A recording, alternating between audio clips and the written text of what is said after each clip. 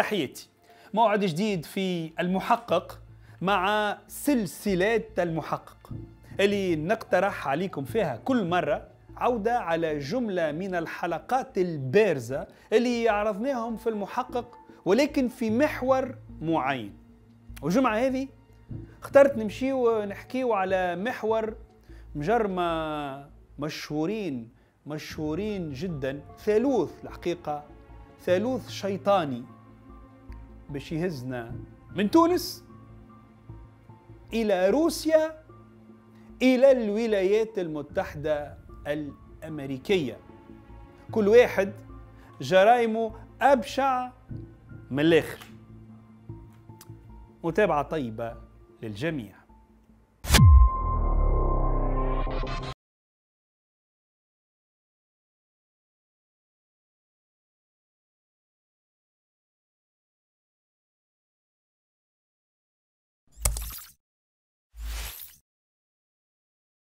مرحبا بكم. في سلسلة المحقق نقترح عليكم في المحقق بلوس سلسلة متعلقة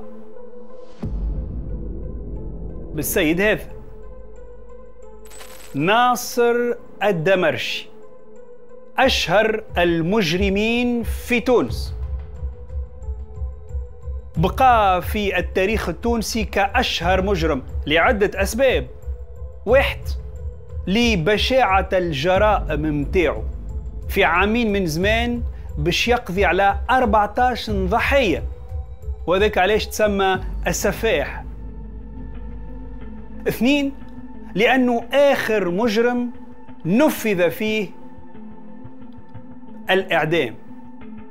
وثلاثة لأنه المجرم الوحيد اللي عنا التسجيلات. متاعو صوتا وصورة. أنا إنسان عملت كيما قاعد تشوف. تسجيلات اعترافات ناصر الدمرجي اتسجلت بكلها عند التحقيق. اتسجلت ثم من بعد تم بثها منذ سنوات في قناة التونسية وقتها. تسجيلات رجعنا لها. باش نفهموا بها شكون كان الناصر الدمرجي من هو أشهر مجرم تونسي؟ علاش عمل اللي عمله كيفاش توصل لقتل ضحاياه بكل دم بارد أولاد صغار؟ ثم طبيعة شخصيته. شنو قال على جرائمه؟ في سلسلة متكونة من ثلاثة حلقات حول ناصر دمرجي صفاح نابل. نرجع معكم في المحقق بلوس على تاريخ أشهر مجرم تونسي. حلقة بعنوان حب البنات باش تكون المدخل لمعرفة شخصية هذا المجرم. ثم من بعد باش نمشيو نحكيو على تحولوا إلى الإجرام من باب الصدفة. وأخيرا نمشيو نشوفوا كيف أصبح منتقم كيف لقى وأنه الإجرام ماشي معاه. قرر أنه ينتقم من الناس اللي يعتبرهم مسؤولين علي صار مرحبا بكم. في سلسلة الناصر الدمرشي. الحلقة الأولى حب الفتيات.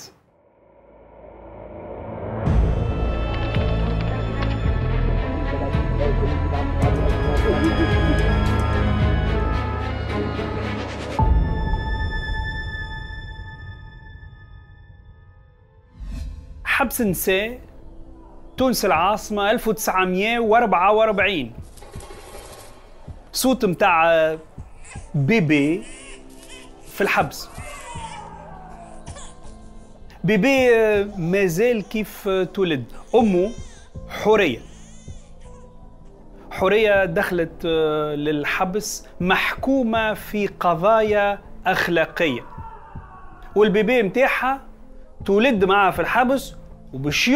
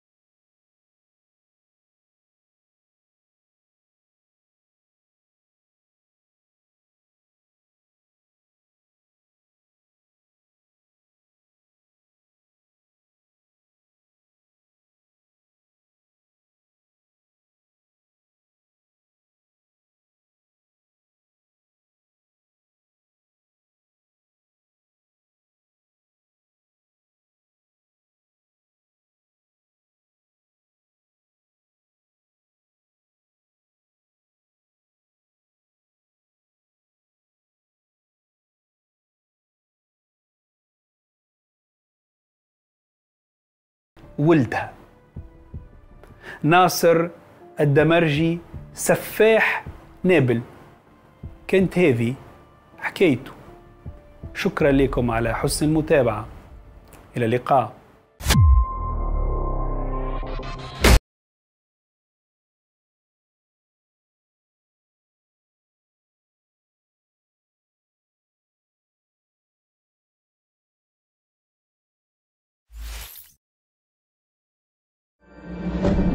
مرحبا بكم. موعد جديد في المحقق مع سلسلة ولد ليقتل.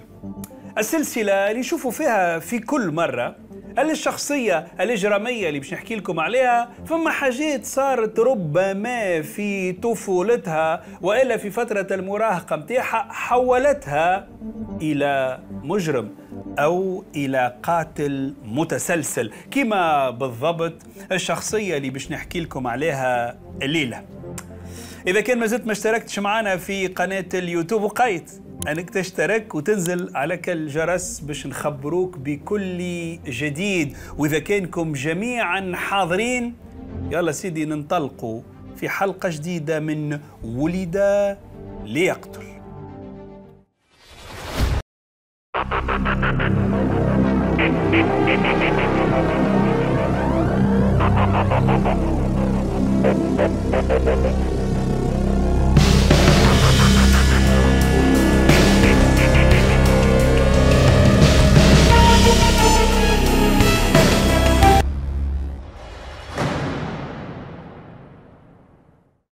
حكايتنا الليلة ترجع بينا الأكتوبر 2005 وباش تهزنا لروسيا وعاصمتها موسكو. موسكو كما روسيا الكل البني اللي فيها الكل بالكبير. كل شيء داير في روسيا بالكبير. البني بالكبير المنتزهات بالكبير. هكتارات الهكتارات مئات الهكتارات أحيانا تلقاها في منتزهات عامة. كما بالضبط منتزه بيتسا في العاصمة موسكو. منتزه كبير ياسر.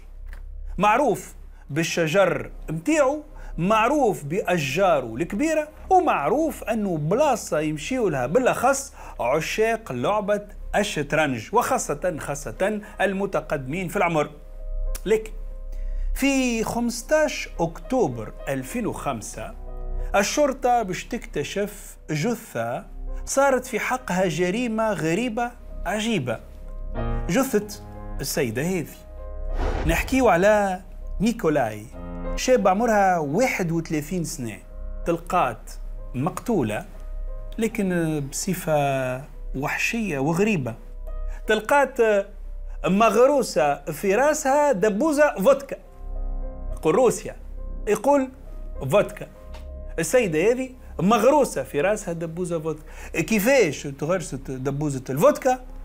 تقرير الطب الشرعي سيثبت أن الضحية تعرضت للضرب بمطرقة أو ما يشبه المطرقة. وبعد ما تضربت بهالمطرقة تركزت في رأسها دبوزة متاع فودكا. بشاعة الجريمة باش تخلي الشرطة تعتقد أنه فاعل متاع إنسان مجنون متاع إنسان ربما ينتقم ربما عنده مشكلة معها السيدة حلوا الكتاب عليها وعلى تاريخها وعلى كذا ما لقاو حتى حاجة تنجم توصلهم للمجرم. فركسوا في البصمات في مسرح الجريمة شوية نجم يلقاو؟ ما لقاو حتى شيء. أحنا في منتزه في منتزه عبارة على غابة لا فما كاميراوات مراقبة لا فما ناس شافت لا فما شهود لا فما حتى شيء. صبورة كحلة الشرطة ما عندها حتى معطيات. والحكاية ماشية وتتعقد جثة أخرى باش تتلقى متاع سيد ستيني. ميت هو زادة ومغروسة في راسه دبوزة فودكا. فجثة ثالثة فرابعة فخامسة فسابعة. ما زلنا ما عملناش الشهر سبعة جثث باش يتلقاو في هالمنتزه بنفس الطريقة. شنو القاسم المشترك ما بيناتهم هالجثث؟ ما فماشي حاجة كبيرة إلى حد الآن.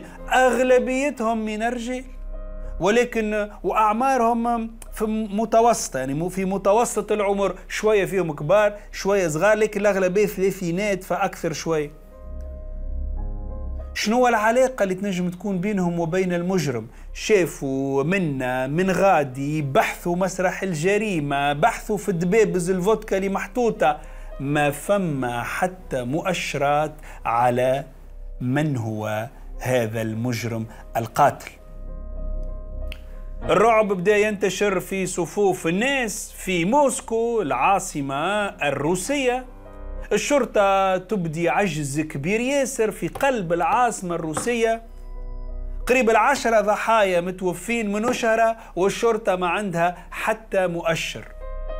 باش يتم آه، تجنيد أعداد كبيرة من من عناصر الشرطة 200 شرطي وبحاث باش يتحطوا في هذه الحديقة ولا في هالمنتزه 200 باش يعسوا باش يشوفوا باش يراقبوا شيء ما فما حتى نتيجة. الأمور آه، بدات آه، فيها نوع من الغرابة والفرضيات والنظريات بدات تكثر. هذا نظرا لغرابة الجرائم اللي قاعدة تصير. هذه جريمة قتل وتركز من بعد دبوزة فودكا في راس الضحية. فما شكون باش يقول يا أخي آه، منتزه بيتسا مش فما مش بعيد عليه مصحة متاع أمراض نفسية وعقلية. يا أخي مش المرضى النفسانيين واللي عندهم أعصاب وعندهم آه معناها أمراض ويبداو هكا حالتهم بين بين يا أخي مش قاعدين يخليوا فيهم يخرجوا ويدوروا بصفة آه معناتها من غير حتى مشاكل. زعما يظهر المجرم واحد من المرضى اللي موجودين في السبيطار. حلوا الكتاب. على السبيطار وعلى المرضى وعلى الناس اللي تخرج من السبيطار وتدور في المنتزه. والنتيجة؟ حتى شيء. المرضى متاع السبيطار ما عندهم حتى علاقة. وتتواصل الأمور على هذه الشاكلة. من أكتوبر 2005 بدأت الجرائم إلى مارس 2006 وفي إحدى أيام هذا الشهر امرأة بالطالون بكبوت طويل بشعر أصفر قصير تمشي وتزرب في الخطوة في وسط المنتزه. واحد من عناصر الشرطة لفتت انتباهه. علاش؟ على خاطرها تزرب تمشي بطريقة غريبة شوية.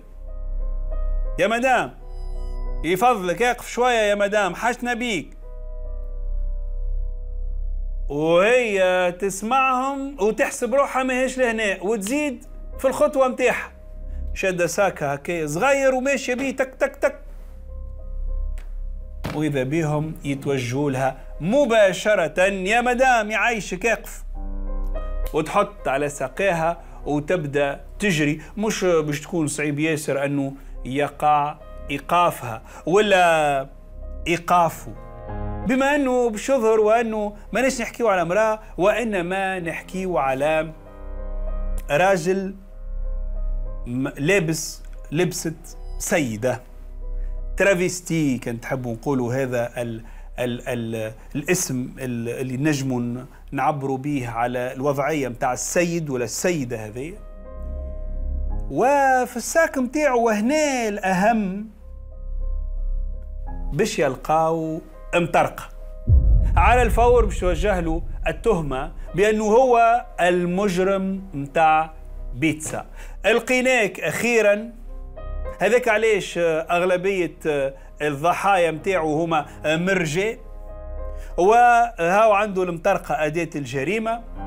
ومتخفي في شكل امرأة. زعما؟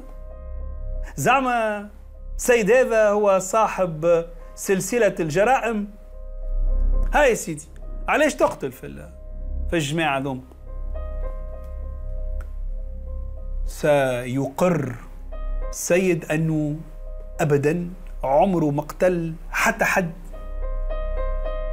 كانك عليه آه، متنكر ولا لابس لبس تنساه ماهوش تنكر هذيك ميولاته هو يرى في روحه أنه امرأة أكثر منه راجل وبالتالي يتحول إلى امرأة. ثم كانك على المطرقة فإني المطرقه هذيك عنده لأنه في روسيا وهذا صحيح بين الظفرين في روسيا فما كره شديد آه، رسمي وشعبي للمثليين وبالتالي كيف يتيحوا بواحد مثلي ما يخليوش فيه حتى آه، طرف لاباس. فبالتالي كان عنده مطرقة باش يدافع على روحه. ما عنده حتى علاقة بهذه الجرائم.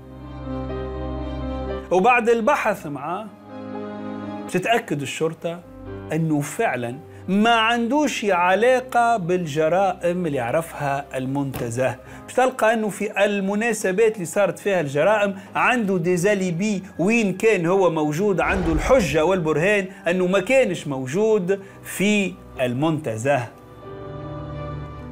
وترجع الشرطة لنقطة الصفر وأدهى من ذلك ترجع عمليات القتل والعثور على الجثث.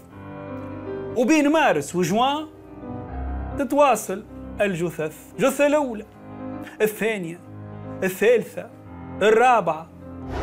وك الشرطة باش تتجن 200 شرطي موجودين بصفة متواصلة في هالمنتزه وحتى شيء. ما نجموا يشدوا حتى شيء. راهو زاد يلزمك تتصور ما تظهرلكش حاجة سهلة كي نحكيو على منتزه فيه هكتارات الهكتارات بون ربما كان جينا في دول أخرى وتعرفوني يمكن على شنو نحكي راهو سكروه المنتزه ها؟ هكاك أما هما الهدف كان زاد أنهم يشدوا المجرم صحيح يوقفوا سلسلة الجرائم ولكن زاد يشدوا المجرم مش الفايدة نسكر المنتزه يمشي يتحول هو بجرائمه إلى مكان آخر. حتى لين نوصلوا إلى جريمة في حق شابه اسمها مارينا. مارينا في الثلاثينات من عمرها. مارينا كيف كيف؟ باش تتلقى مقتولة وباش تتلقى في راسها هالدبوزة متاع الفودكا. لكن مارينا باش تلقاه في واحد من الجيوبة متاعها تسكرة متاع train. فجاء البال المحققين في الملف أنهم يشوفوا إذا كان عندها تسكرة متاع train يعني أنها ركبت في train. إذا ركبت في ال train باش جات لهنا ربما فما شكون جاء معاها في ال train. وتحولت الشرطة لمحطة التران وبكتيكية ذيك عرفت وقتاش طلعت بالضبط في التران وطلبت أنها تتحصل على كاميراوات المراقبة شوفوا معايا أشنو باش نشوفوا في كاميرا المراقبة a été tué le 14 juin. Sur les films de caméras de surveillance, la police découvrit que la jeune femme, sans méfiance, quelques heures avant sa mort, était accompagnée d'un homme qui se révéla être un collègue de travail. Mais avant de le rejoindre, elle avait noté son numéro de téléphone sur une note à l'intention de son fils, ce qui permettra à la police de retrouver Pichushkin. Marina وقت اللي هبطت من التران فما معاها راجل بحذاها وهازز في ديه الساك هذاك اللي كنت تشوف فيه زعما هذاك ساك المطرقة. الراجل الشرطة ما تمكنتش من أنها تحدد هويته. هذاك علاش؟ باش تقوم بالبحث مع العائلة متاع مارينا. خي مارينا تعرفوه السيد هذا شكونه أمها. باش تقول وأنها تعرف اللي بنتها تخرج مع آه، شاب اسمه ساشا. وفما نمرو التليفون متاعه مكتوب في واحدة من الأوراق متاع بنتها. هاي به. أعطينا نمرو التليفون. أعطاتهم نمرو التليفون. باش تثبت الشرطة من نمرو التليفون في آه، مع الأوبيراتور متاع النمرو مش باش تلقى ساشا لكن باش تلقى السيد هذا واسمه. ألكسندر بيتشوشكين. ألكسندر بيتشوشكين هو اللي عنده النمرو يظهر أنه لخيان في روسيا. آه ساشا هو الاسم ديما يطلقوه على ألكسندر ها؟ هذيك علاش فما هل زوز أسامي هذوما ما نحكيو على نفس الشخص. بالتالي سي ألكسندر هو آخر واحد كان مع ساشا. يخدم في supermarché وباش تمشي الشرطة وتلقي القبض عليه.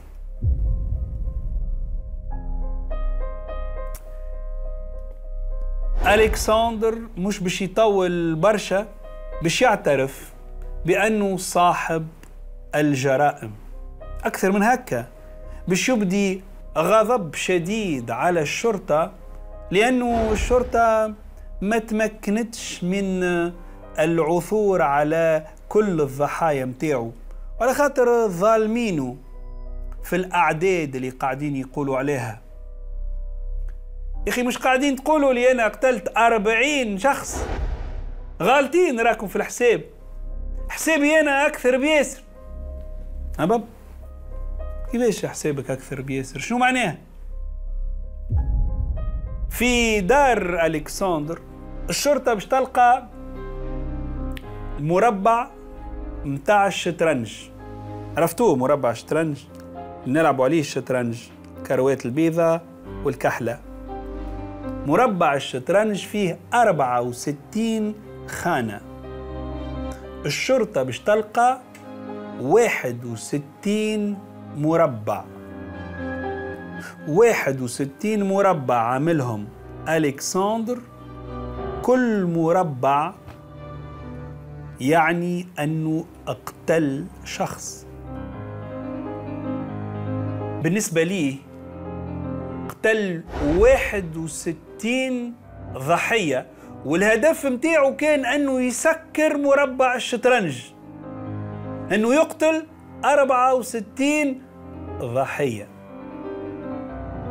ألكسندر بتشيشكين مش يشد صحيح رغم أنه ما يعرفش الهويات متاع الضحايا متاعه ما عنده بيهم حتى علاقة. يعرضوا هكاك في المنتزه ترتاف بالمطرقة ويحط دبوزة الواحد.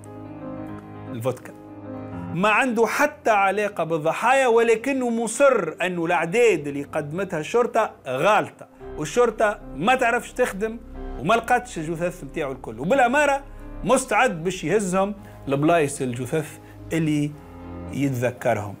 فهزته الشرطة للقيام بإعادة تجسيد للأحداث. شوف معايا هذه الصور ليظهر فيها بوتششكين وهو يقوم بتجسيد الأحداث.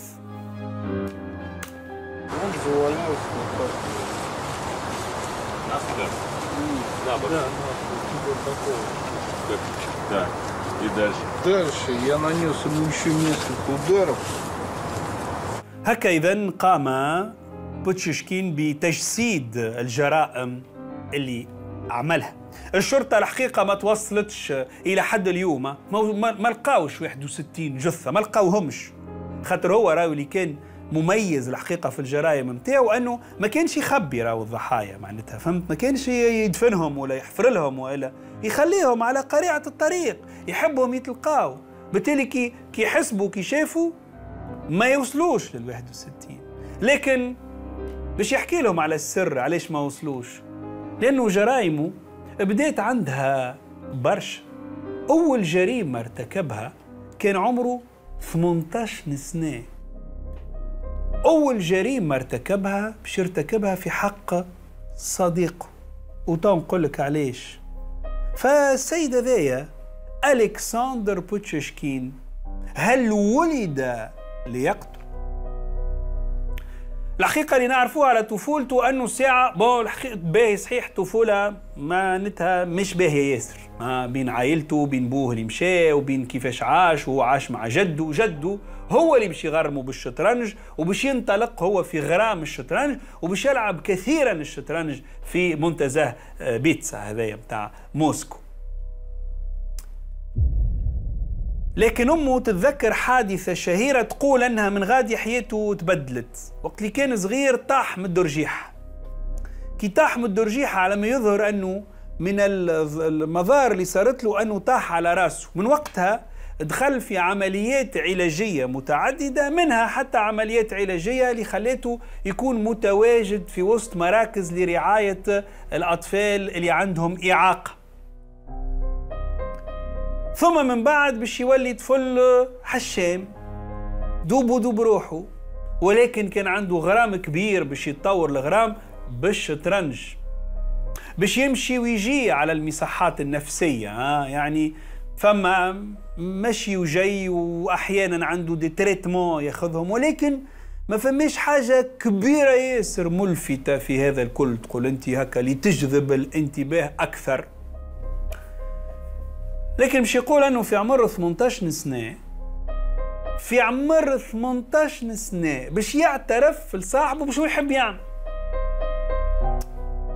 نحب نقتل عدد أشخاص على قدر أعداد مربع الشطرنج. 64 شنو رأيك في هالفكرة؟ صاحبه مش يقولوا يا مهبول ملا فكرة؟ تو هذه فكرة؟ فهو شنو باش يعمل له؟ حسب رأيك؟ باش يبدأ به هو ينفذ في الفكرة. بالتالي هو بدا ملي عمره 18 سنة إذا حتى للي عمره إيش 30 سنة وهو يقتل وهو يحسب. وبالنسبة لحسابه فإنه وصل ل 61 قل له أنت للصباح أنه مش هذاك الرقم اللي وصلت له. في المحاكمة متاعه ألكسندر لن يبدي أي نوع من الندم أي نوع من التعاطف مع عائلات الضحايا باش لهم أنه أصلا هو الضحايا ما يعرفهمش وما شافهمش لأنه الكل ضربهم من تالي وهما يمشيوا كذا طاف يهبط عليه المطرقة. ما يشوفوش أصلا لا باش يشوفوا لا باش يشوف الألم متاعه لا حتى شيء. تك تك تك يحط الدبوزة وينطلق وفات الحكاية. ثم باش يقول أنه كان يتمنى أنه يقتل بنفس الطريقة وأشنع المحامي متاعه خاطر ما عملوا حتى شيء. كان ماذا به يقتلوا ويقصوا طروف طروف؟ هذا النوع من الاعترافات متاع بوتشوشكين. في 29 أكتوبر 2007 ستحكم المحكمة بالسجن المؤبد في حق ألكسندر بوتشوشكين. فهل ولد يقتل بالنسبة ليك؟ نسنى. تعليقكم على هذه الحلقة. شكرا على حسن المتابعة. إلى اللقاء.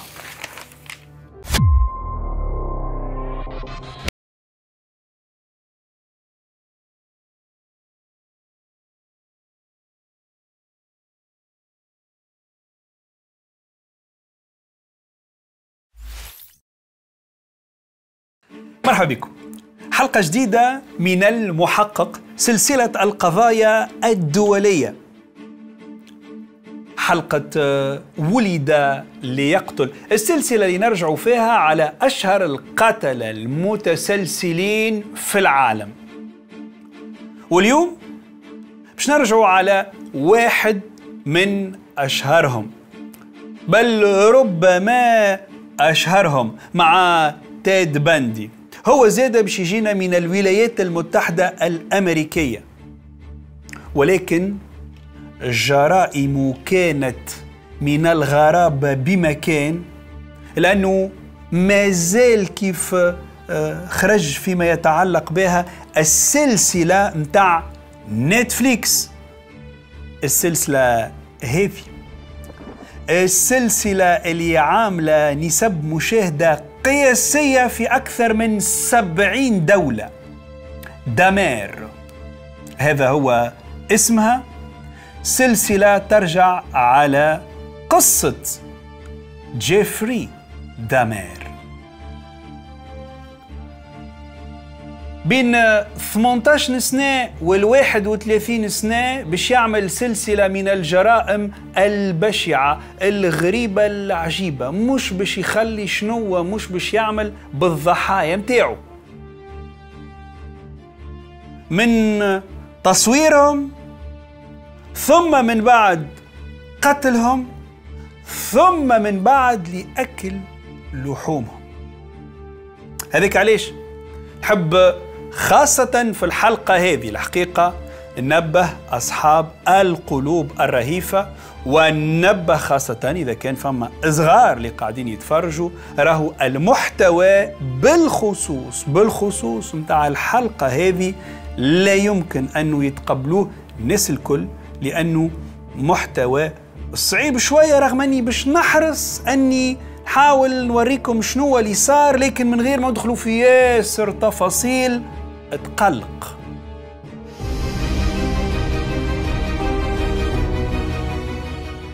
حكايتنا تبدأ في صيفية 1991 إحنا موجودين في الولايات المتحدة الأمريكية موجودين في الويسكونسين وتحديدا في الميلوكي. في هالبلاصة هذه اللي آه، تعرفت أنها بلاصة موجود فيها نسبة آه، إجرام كبيرة ياسر. موجودة فيها نسبة فقر كبيرة ياسر.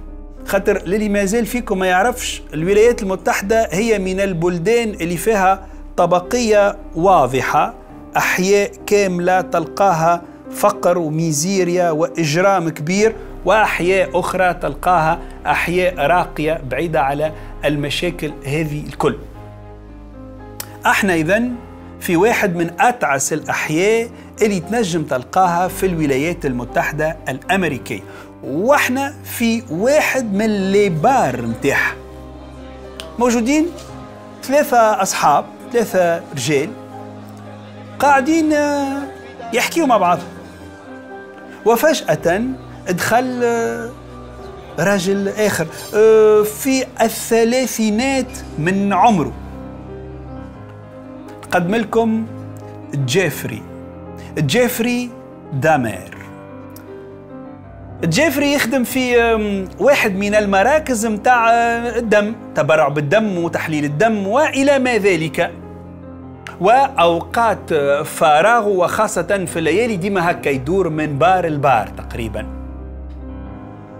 لقى مجموعة الشباب هذوما قعد بحذاهم بدا يحتسي في مشروبه وبدا يحاول يتجاذب معاهم الحديث. وبشوية بشوية انطلقوا في الكلام بينات بعضهم إلى أن باش يستدعاهم يجيوا بحذاه للدار باش يكملوا السهرية. لكن الحكاية مش باش تروق لهم برشا ما عندهم علاش يمشيوا للدار ماذا بيهم يكملوا؟ يقعدوا في هذه الحانة. باش يلح جيفري باش يلح خاصة أنه باش يقول لهم اللي هو مغروم بالتصوير، مغروم بالتصوير متاع الأجساد البشرية. يحب يصور البدنات متاع العباد وخاصة متاع الرجال. هذا هو مغروم بالفن التجريدي. نفس الشيء الحكاية ما أقنعتهمش ولا على الأقل ما أقنعتهمش الكل. خاطر فيهم واحد باش يوافق. باش يوافق بعد ما يقترح عليه جيفري إنه يخلصوا باش يقولوا باش تجي باش نعملوا ثلاثة أربعة تصاور وباش نخلصك باش نخلصك خمسين دولار. تريسي إدواردز اللي نحكيو عليه مش باش يكون من رافضين. وبالعكس باش يقول بيا سويعة سويعتين من زمان وإحنا في التسعينات 91 50 دولار مش شوية. فك الحق الفقر والميزيريا اللي موجودة فيها الحي هذاك بالنسبة لشخص عنده ستة صغار في رقبته. باش يقرر أنه يمشي معاه. باش يمشيو للشقة متاع جيفري دامير. الشقة 200 و13 موجودة في آه، بنية قديمة آه، تعيسة كئيبة شوية. طلعوا للشقة وصلوا للباب. حل جيفري الباب. وهو داخل. تريسي باش يتصدم باش يتصدم بالريحة اللي قاعد يشم فيها.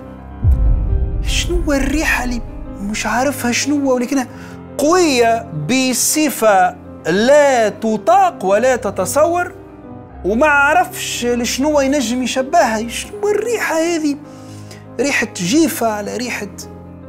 شنو اللي عندك في الدار يا أخي؟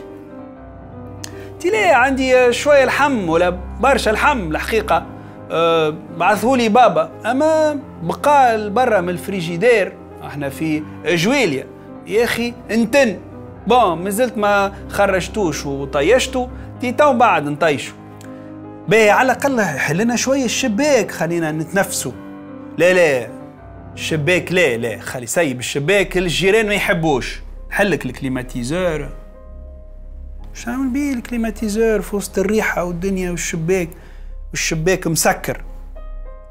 تي تو تمشي الريحة تو تستانس بيه يجي يقعد. شد هكا برد. وش بدلو؟ كعبة بيرة وعطاه يشرب وقعدت اي باهي خلينا نعملوا تصاور ونمشي على روحي. باهي بشوية تو نعملوا تصاور. شد اشرب ساعة في عقلك وتو نعملوا تصاور. أعطاه المشروب الأول والمشروب الثاني. وبدا يسأل فيه. شنو أحوالك؟ هاي لاباس ça va هاي لاباس. لاباس ça va نستنى فيك وقتاش باش نبداو نصوروا برا. هيا عاد ما عادش وقت خلينا نصوروا ونمشي على روحي. باهي بشوية تو نصوروا. خد نزيدوا نشربوا شوية زيد شد هذايا ومن كاس لكاس ومن دبوزة لدبوزة وهو يسأل فيه لاباس ça va شنو أحوالك؟ حتى اللي بدأ يشوف فيه يترهوج. هاي لاباس وصوته يرخ وعينيه بدات تتغمض. وهو كيكا ويجبد جيفري دامير menottes ويشد له يديه والآخر يكون يعقل وعينيه تتحل ويتفجع ويخزر له. شبيك؟ شنو قاعد تعمل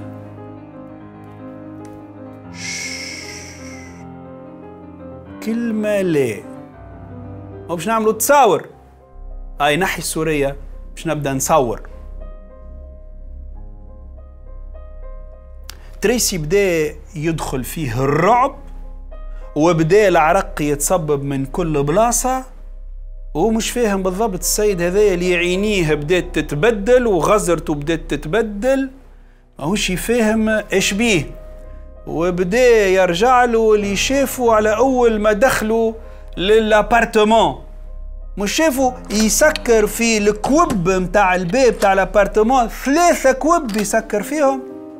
في باله حاجة عادية أما يظهر أنه فما حاجة كبيرة تستنى فيه. وفعلا بعد ما نحى السورية متاعه باش يجبد جيفري سكينة. سكينة كبيرة. وباش يطلب منه أنه يمشي للبيت الأخرى.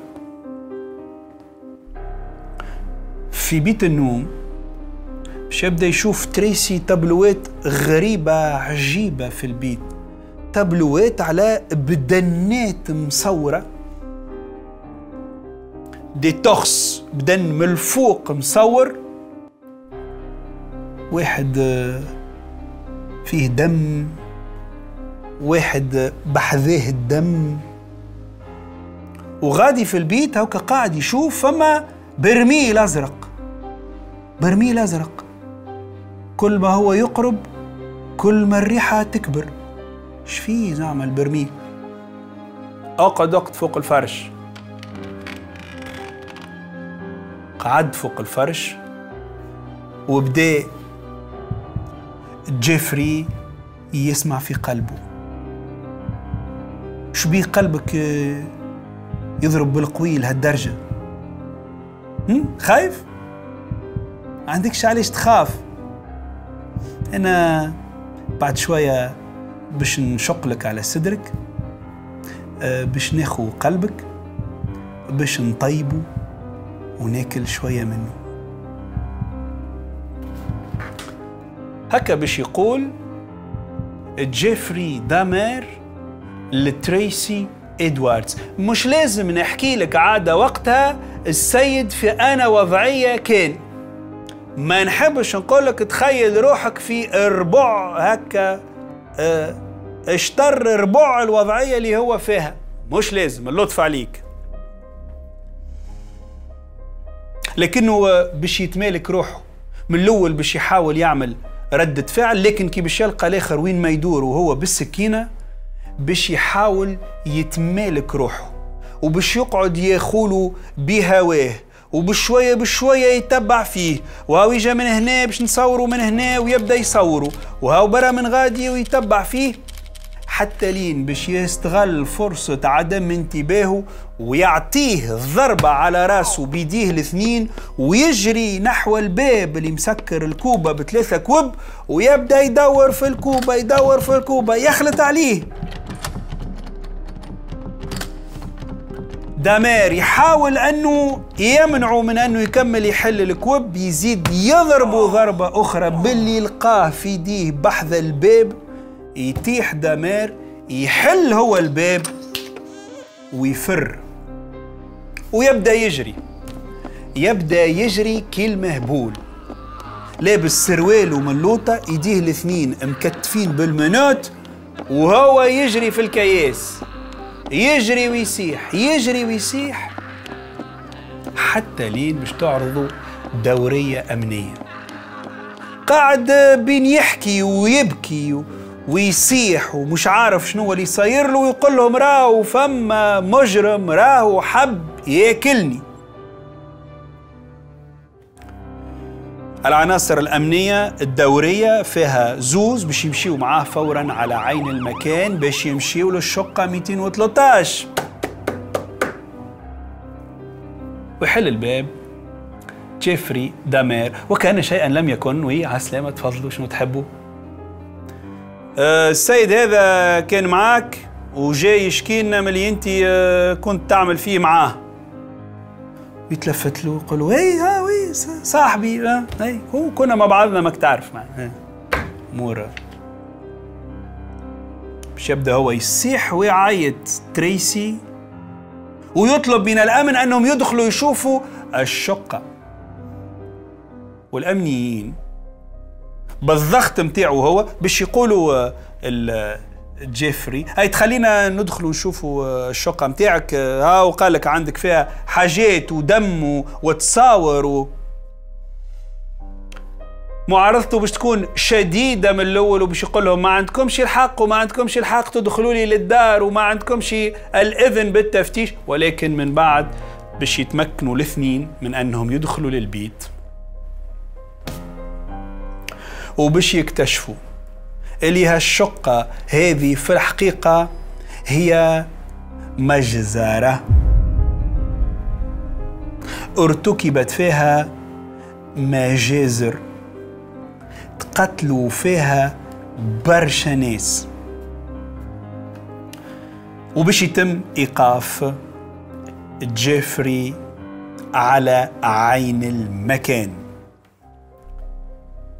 مش الشيء اللي باش يلقاوه هما وال police scientifique باش تتجند كل وسائل الإعلام تقريبا على الفور في ليلتها في 22 جويلية 1991 أمريكا باش تعرف واحد من أكبر المجرمين في تاريخها. في البرميل الأزرق تتذكروا اللي حكيت لك عليه اللي كان موجود في بيت النوم متاعه البرميل الأزرق باش يلقاو فيه بقايا أكثر من جثة بشرية قاعدة تتحلل في اللاسيد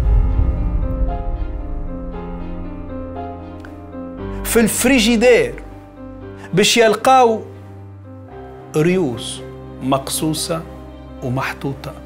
باش يلقاو دبابز مخلل فيها أعضاء بشرية. السيد هذا بدا الجرايم متاعو عنده برشا. بدا الجرايم متاعو عام 1978 ويلزمني نحكي لكم كيفاش بدات الحكاية. عمره وقتها 18 سنة. جيفري دامير تو بعد نرجعوا على طفولته كي نسأله هل ولد ليقتل لكن وقت اللي كان عمره 18 سنة الوضع مكهرب ياسر في وسط دارهم باش ما نقولش انه ما عادش فما وضع أصلا. بوه غادر أمه. عنده مدة.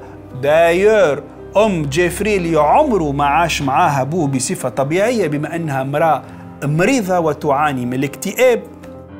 وقتها غادرها تماما. ومشى خذا امرأة أخرى. وهي زادة ما كانتش من العاكسين. هجرت الدار ومشيت عاشت مع راجل آخر. النتيجة دار العائلة قاعد يعيش فيها جيفري دامير. عمره 18 سنة أه، فترة متاع اكتشاف واحد يكتشف فيها روحه. في الفترة هذيك في الوقت اللي قاعد يشوف جيفري في أصحابه اللي قاعدين يعرفوا في أه، فتياته وبناته يتعرفوا عليهم هو لقى أنه ميولات أخرى. ومن هنا باش تنطلق الجرائم متاعه. من هنا باش يلقى حسب ما باش يقول من بعد نوع من الكيف واللذة في أنه بعد اغتصاب الضحايا متاعه أنه يقتلهم وأنه ياكل من لحمهم. الجريمة الأولى باش تصير في حق السيد هذا. نحكيو على ستيفن هيكس اللي عمره 18 سنة واللي باش يقتلوا دامير في دار العائلة في 1978 ثم من بعد ابوه باش يقول له راهو باش يبيع الدار وباش يخرجوا من الدار. يقول له هاكا عندك مماتك برا عيش بحذاه رانا باش نبيعوا الدار. وهذاك اللي باش يعملوا دمار. باش يمشي يعيش بحذا جدته جدته عندها آه، سوسول معناها اللوطة تحت الدار. أخذته له قتلوا هاوكا شيخ روحك هاوكا أثثوا رجله وتحت ذمتك. أمرأة كبيرة تتحرك بالسيف وهو عنده السوسول وفي السوسول باش يعمل سلسلة من الجرائم. قبل ما نقدم لك شكون هم بالضبط ضحاياه جرائمه كانت تصير ديما بنفس الطريقة. يخرج يمشي الوحدة من الحانات يقابل فيها شكون؟ يقترح عليها إنه يروح مع أهل الدار يكملوا السهرية. في الدار يعطيه يشرب معاه. في الكيس متاع الشراب متاعه يحط له مخدر. بعد ما يشرب هو ويتخدر ينطلق دمار في العمايل متاعه. العمايل اللي فيها حاجات آه، تنجم تصعب على التصديق. كان عنده مثلا شينيول ينقب به ريوس الضحايا باش من بعد يحط فيه الأسيد. هو كان يتصور من خلال هذه العملية أنه بتولي عنده القدرة أنه يسيطر على الضحايا ويبدأ يحكي معاهم. يعني في باله باش يقعدوا حيين. ويوليوا تحت سيطرته. حتى واحد فيهم بالطبيعة ما بقى حي بالشينيول. ثم بعد ذلك ضحية على ضحية كل واحد شنو ياخو من أعضائه؟ واحد اللي ياخو له قلب ويخلل واحد اللي ياخو له صوابع واحد ياخو كل واحد وشنو؟ ثم من بعد عادة يتخلص من الجسد الكبير الترس يحطه في اللاسيد باش يذوب وإلا يلوحوا وإلا يكنجلوا في الفريجيدير. سلسلة كبيرة من الضحايا باش يقوم بقتلهم. بالطريقة هذه في دار جدته والضحايا هذوما هما الناس هذا ستيفن تومي. 25 سنة عام 1987 جيمس دوكستاتور 14 سنة عام 1987 زادة. ريشار جيريرو 22 سنة عام 1988 وأنتوني سيرس 24 سنة عام 1989 رغم أنها امرأة كبيرة جت كبيرة أما حاسة الشم لاباس كل مرة وهي تشم في غرايب وعجايب اللي جاية من البيت اللي عايش فيها ولد ولدها. يا ولدي في شنو قاعد تعمل؟ يا ولدي كيفاش؟ يا ولدي كذا.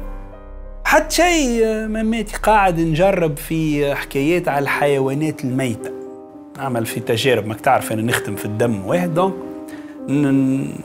معناها نعمل في عمليات على نجيب فار ولا نجيب آه آه اسمه هذاك اللي في الشجر إيكوغاي ولا سنجاب ولا نجيب حاجة ونشرحه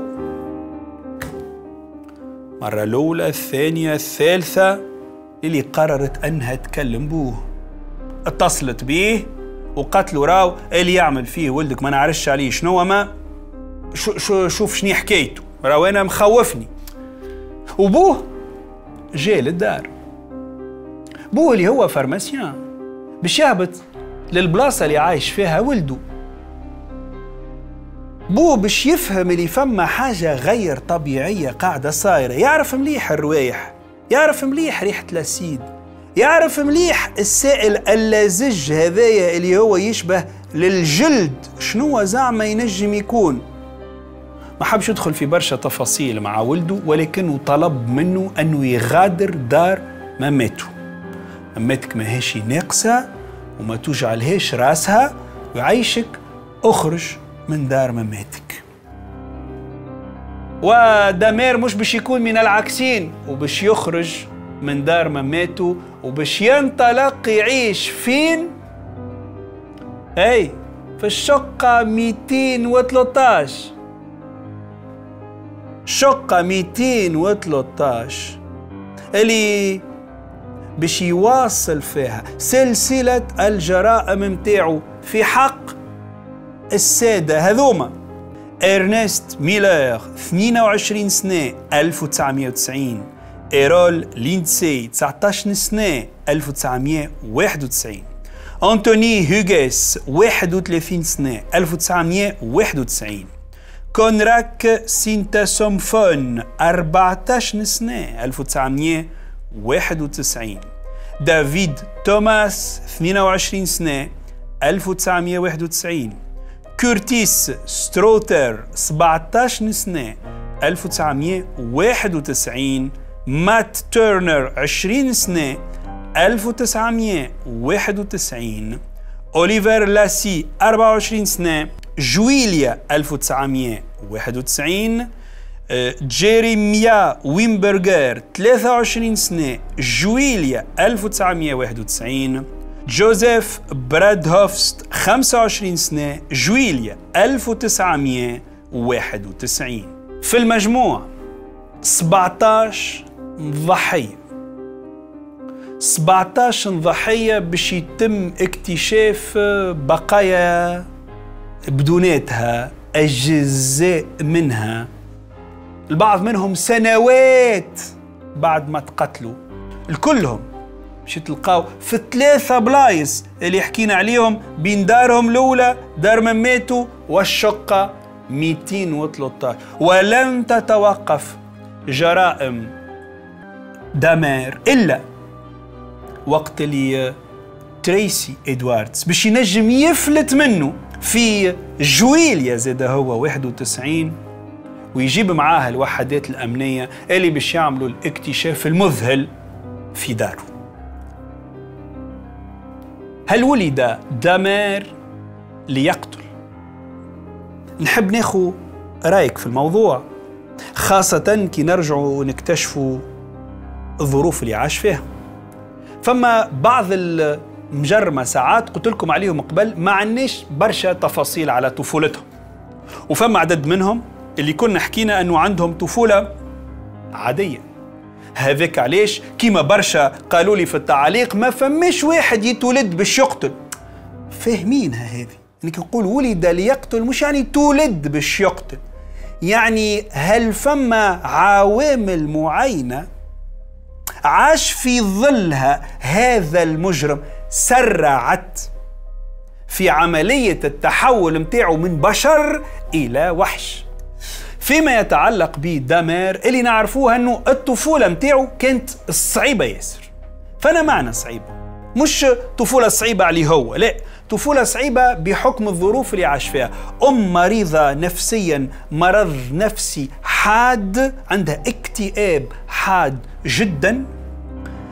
بصفة متواصلة طرف الوقت اللي بوه كان يجي للدار كان ديما عرك ومعروك مع أمه البو ما يترددش باش أنه يسبها ينعتها أنها مريضة وهذا الكل قدام آه هانتر.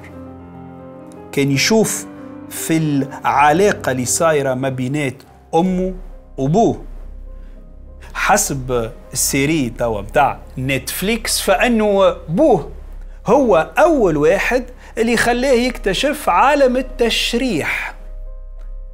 تشريح الحيوانات اللي باش يقول عليه من بعد المماتو بداه مع أبوه وعمره سبعة ولا ثمانية سنين.